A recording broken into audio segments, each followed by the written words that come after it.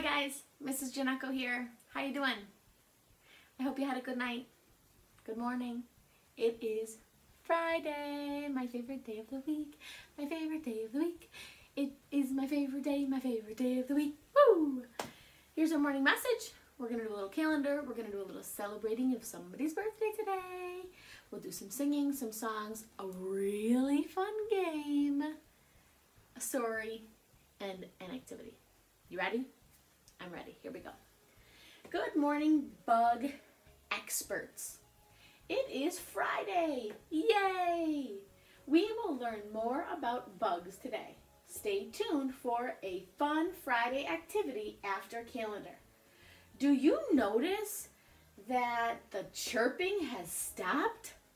Finally! Yay! Say go, Big Frank! He changed the batteries. We tried to change the batteries, and it kept chirping.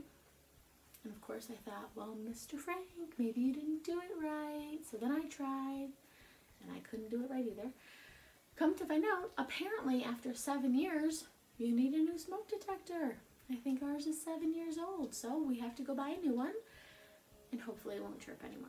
But it's done. You don't have to listen to it anymore. I don't have to listen to it anymore. Let's give it a boom. Boom!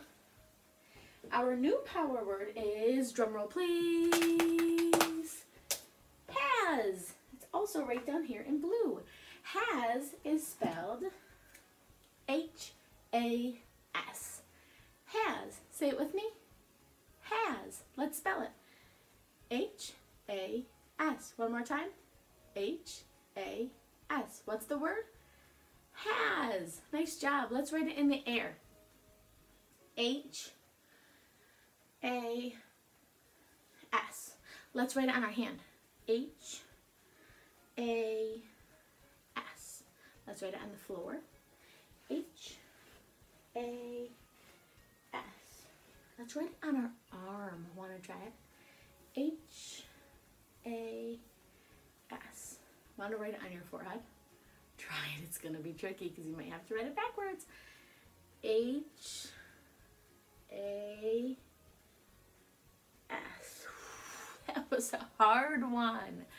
Has is a power word because you cannot really sound it out. That S at the end in the word sounds like a Z.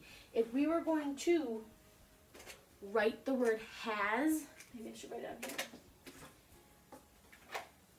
If we were going to write the word has the way it sounds, we would spell it as. We know that most of our power words are power words, and some people call them sight words because they don't always look the way that they're spelled and they don't always sound the way that they're spelled. Okay, so this is not how we spell the power word of the day. This is how we spell the power word of the day. Can you think of a sentence with this power word in it? I'm going to try one first, then it will be your turn. Let me think. Frankie has tons of balls. Can you try a sentence?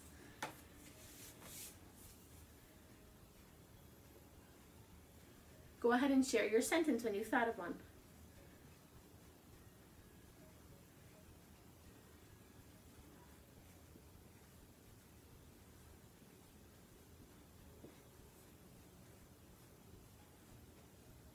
Nice job. I wrote my sentence on a whiteboard. I used lots of power words and I sounded out any words that I wasn't sure how to spell. I wrote Frankie has, there's our power word, tons of, another power word, balls. There's my sentence. I liked your sentence too. And I have to share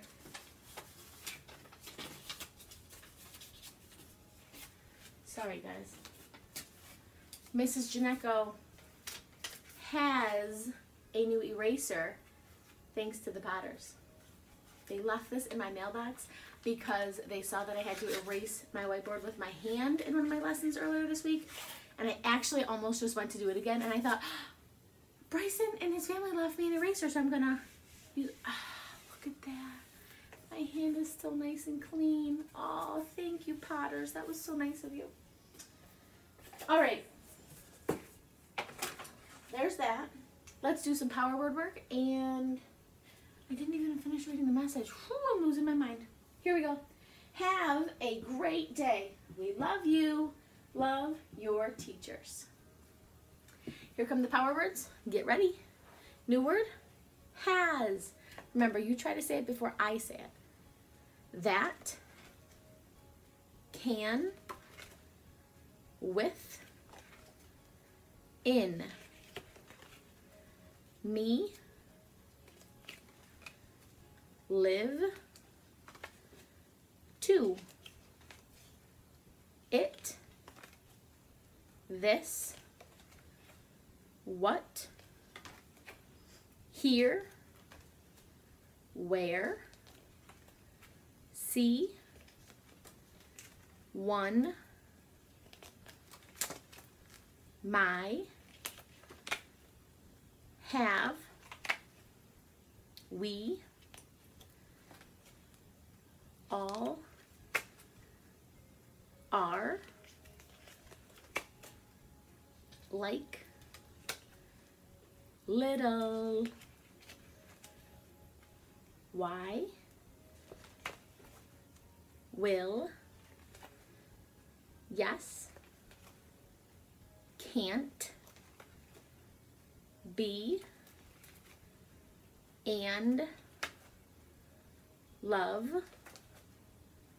come, do, I, lots, look, is, the, was, go, a, of, at, for, get, no, said, she, big, down, they, went, who, and, there, and one more time that brand new word, has, H-A-S, has. Nice job. We just went through all of the power words that we know, so that was very good practice, especially for a Friday. I'm going to turn over to calendar so we can do some calendar work. Can you see this okay?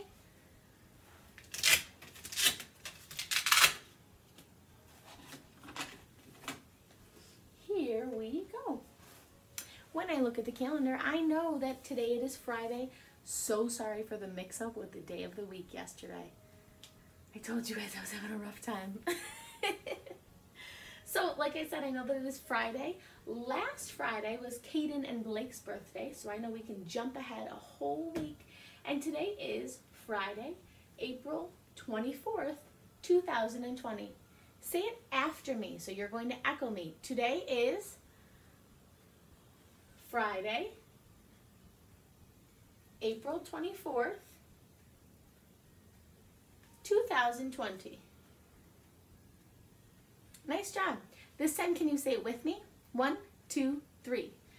Today is Friday, April 24th, 2020.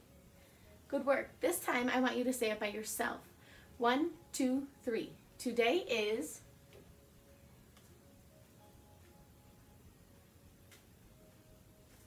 Good job. Nice work. Well, did you notice a cupcake? What do the cupcakes mean? Dun, dun. We have a birthday in our class tomorrow. Tomorrow is somebody's birthday. This somebody is a girl. This somebody has beautiful long, dark black hair. This somebody has three letters in her name. This somebody is always sweet and kind. This somebody is best friends with Mason, along with many others. And she has two little sisters. Happy birthday, Luz. Happy birthday to ya. Happy birthday to ya. Happy birthday. Happy birthday, Luz. She's going to be six tomorrow. If you would like to send Luz a birthday message or a birthday video of you singing happy birthday or saying something kind, feel free to do so on Seesaw and her mom can show her the videos. So, Luz will be six tomorrow. April 25th is her birthday. Woohoo! We know the season is spring.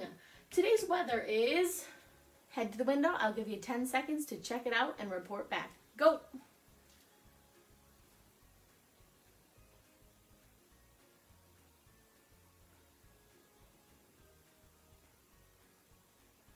All right, welcome back. What's the weather outside? Is it rainy? Is it cloudy? Is it sunny? Is it snowy? Is it thunderstorms? Good work. Thanks, meteorologist. I know yesterday was Thursday. If yesterday was Thursday, that means today is Friday. And if today is Friday, tomorrow will be dun dun dun, dun Saturday.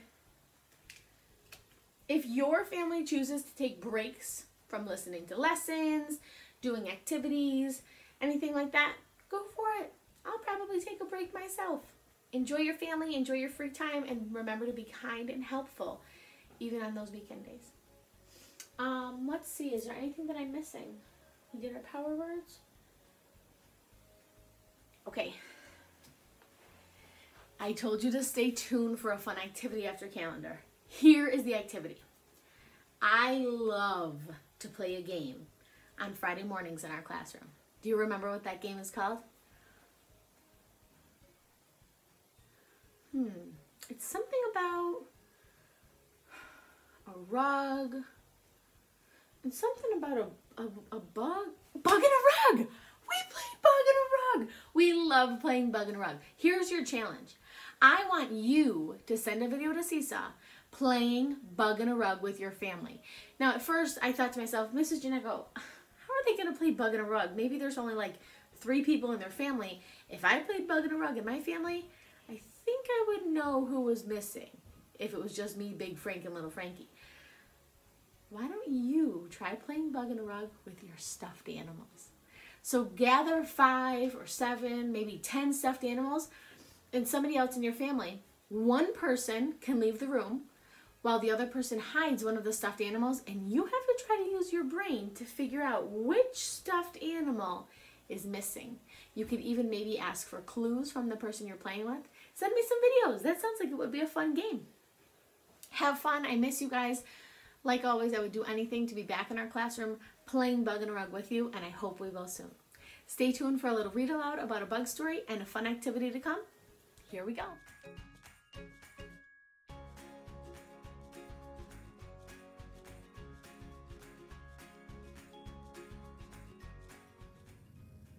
All right, I'm back, friends. We are going to read Bugs All Around. This book is by Natalie Lunis and Nancy White. Bugs All Around. When you look at this front cover, do you think this is going to be a fiction or a nonfiction text? Remember, nonfiction means that it is real. You're going to see real pictures, real facts, real information. Fiction means it will be fake, made up, or a story that somebody dreamt up in their head. What do you think it'll be? Fiction or nonfiction? I think nonfiction. Just my prediction. We'll see. Oh, look. there's a contents or a table of contents. We used to talk about that together, where you can see all the different things or topics that they cover and then the pages that you could jump right to. So if I wanted to jump right to observing bugs, I could go here, follow that little line, and I know that it starts on page six. All kinds of bugs. Beetles, butterflies, ants, and spiders. Most people call all these creepy crawly animals bugs. Where have you seen bugs? Go ahead and think out think out loud or think in your head or tell somebody, where have you seen bugs? Usually we see bugs outside. Sometimes they come in our houses though, huh? Bugs are everywhere. You can find bugs in many places. They creep along in the stems of plants, buzz through the air, skim over water, and crawl on the ground. Describe each of these bugs. What colors, markings, and shapes do you see? How do you think these bugs move around? What clues can you find to help answer these questions? So take a look at these and describe each of them. Talk about some of the characteristics or the colors or the markings that you see.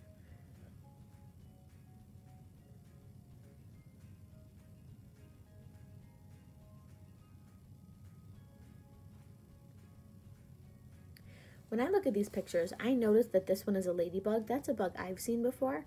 I could tell it's a ladybug by that rounded shell. It's red color with black spots. And those little legs. Up here, this is called a syrphid fly. It looks like its wings are moving very quickly, and when they tried to take a picture, they got all fuzzy. Down here is a water strider. It looks like they live in water based on its name and this picture here. They have long, thin legs. I wonder what those are for. And this guy, a green lynx spider, he kind of has some cool looking legs. They almost look a little bit prickly like a cactus. He also has some black dots on him. Observing bugs. You can observe bugs to find out where they live and what they do. The next time you go to a field, a park, or the woods, see what you can find out about bugs. This girl is looking at a praying mantis. To observe certain bugs, you have to look carefully. Describe the bugs that are hidden in these pictures. How does the way they look help them survive?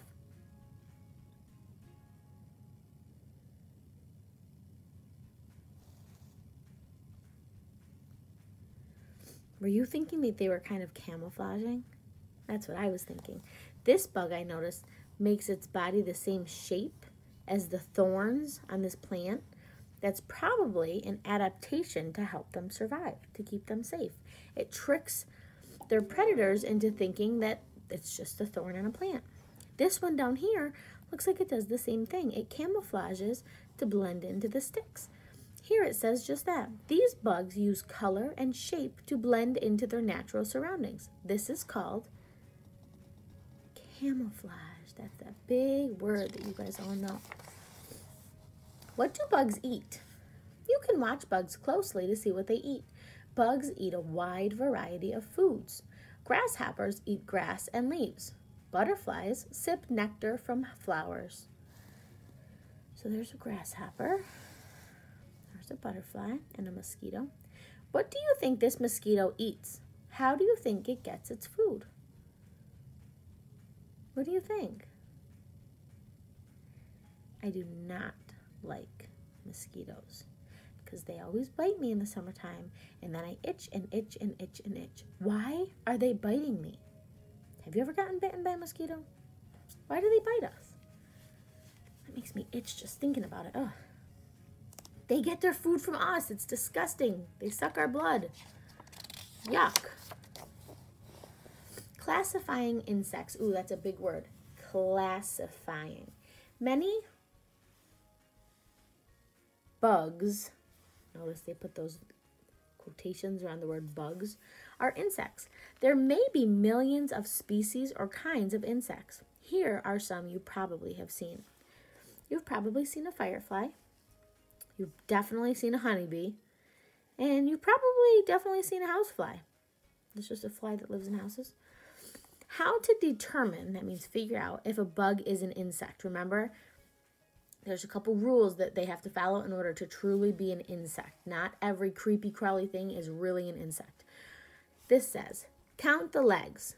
All adult insects have six legs. See if it has wings. If it does, it must be an insect.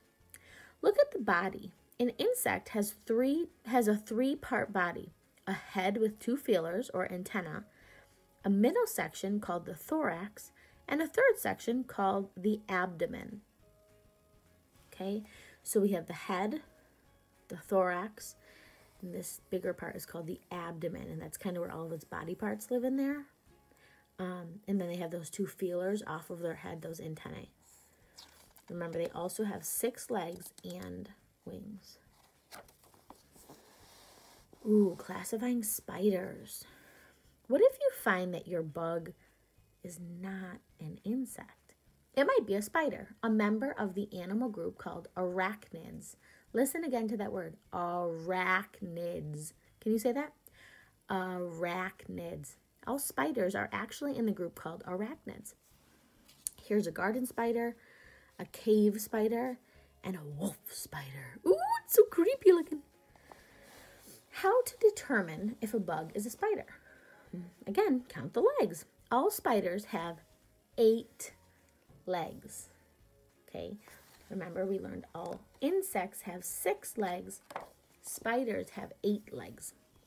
Does it have two body parts? The two parts of a spider's body are cephalothorax, cephalothorax, and an abdomen. Spiders do not have antennae, so they don't have those feelers to smell and sniff around. Comparing young insects. The bugs in these photos are insects. Why is this surprising?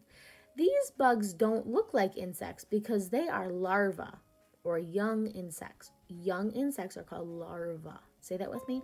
Larvae. Now it's not the beeping. Now it's my computer making noise. Young insects are called larvae. Young insects look different from adults. In what ways will these larvae change? Here we have a moth larva. Ew. Down here we have ant larva. Ugh. This is butterfly butterfly larva. Charlie sees lots of these because his family raises butterflies. Those are so pretty. Down here we have fly larva.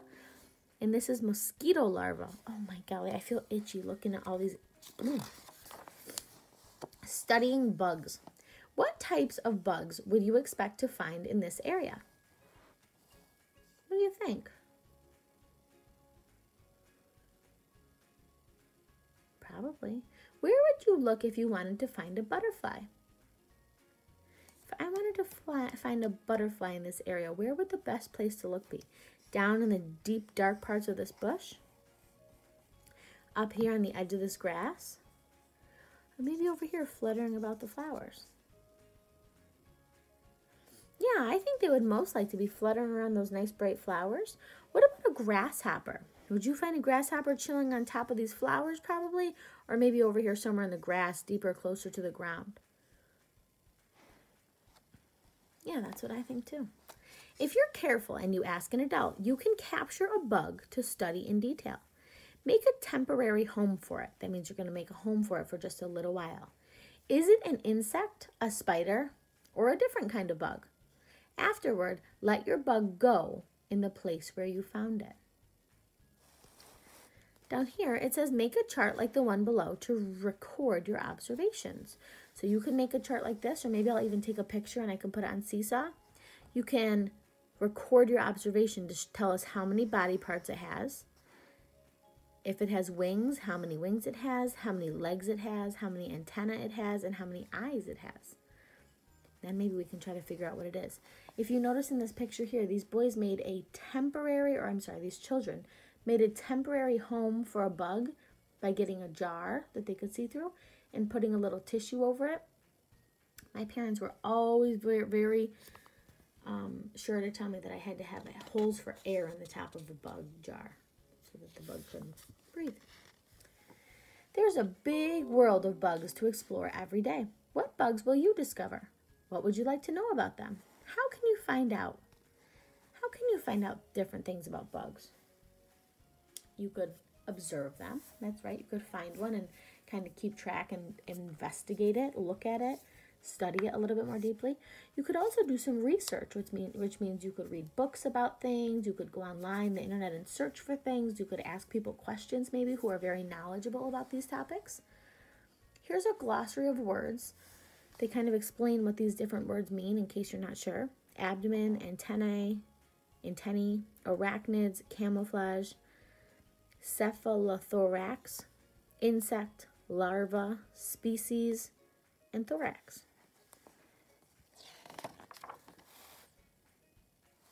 This part says, think like a scientist. How can you tell whether a bug is an insect, a spider, or a different kind of animal? Do you remember? By how many legs it has. Remember, an insect has six legs, a spider has eight legs, and other bugs have a different number of legs. Some bugs have no legs, some bugs have lots of legs. Where can you find bugs? Can you think of two places where you might find bugs?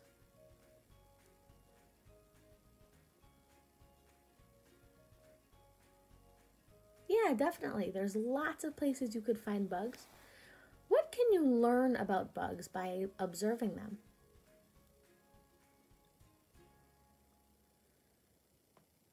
Absolutely. You could learn lots of different things. You can also remember classify bugs by observing them to see about their body parts. I am going to add an activity for you to work on today about insects.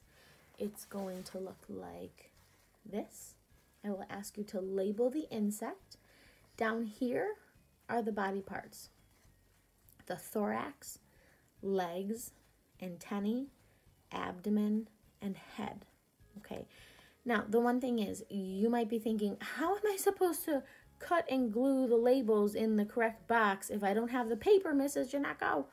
Well, my little loves, you can use the text feature on Seesaw to open a text box and you can type these words and then move the text box to where they belong. So you're going to label which part is the thorax, the legs, the antennae, the abdomen, and the head. Okay, remember insects have three body parts and six legs and those feelers that are called antennae or antennae. Have fun with this. I hope you enjoyed the bug song. And I hope you have a wonderful weekend. I'll have a writing activity for you too. Here is the classification of bugs chart. This is an optional activity. If you would like, you can go through and add different pictures of bugs that you know about to the correct column. The first one says six legs, those are insects. The next one says eight legs, arachnids, like spiders. I gave you an example there. And the last one says lots of legs. Those creepy crawlers that have tons and tons of legs, not just six or eight, are called myriapods. Can you say that with me? Myriapods. Draw some pictures in these boxes if you'd like and upload them to Seesaw. Can't wait to see what you come up with.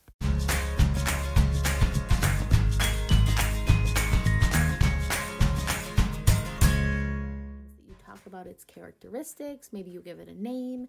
So I drew a picture here of me and Frankie going on a walk on the sidewalk.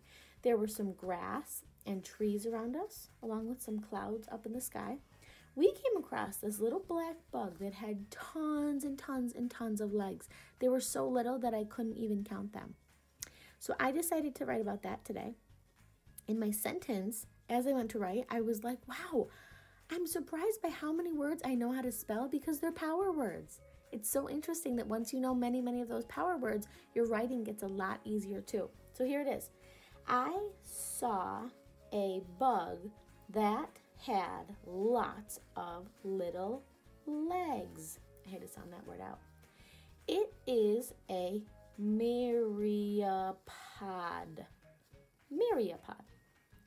Notice how in this in this writing piece I used real life colors, lots of different ones to show what was going on. In my writing sentence, I also used meatball spaces, capital letters where I needed them, punctuation at the end, and I tried my very best to spell those power words correctly, and I wrote down any sounds that I hear in words that I'm not sure of. Parents, remember, inventive spelling is what we're kind of looking for right now for those bigger words that they haven't really had too much interaction with. So even if it's spelled incorrectly, we like to see that they're using at least the first sound. And we've even taught them that if they know the word myriapod and all they hear in it is mm at the beginning, they are welcome to write mm and a magic line to tell us they know that there's more sounds there, but they're not exactly sure what it is. So we still are encouraging them to write those power words correctly, but unknown words, as long as they get that first sound and any other sounds that they hear there, we are happy with that. I hope to see some of your writing uploaded today or this weekend. And remember, it is Friday. So after you're done with this, we will catch up on Monday. I hope you have a wonderful weekend. Mwah. Great work this week, guys.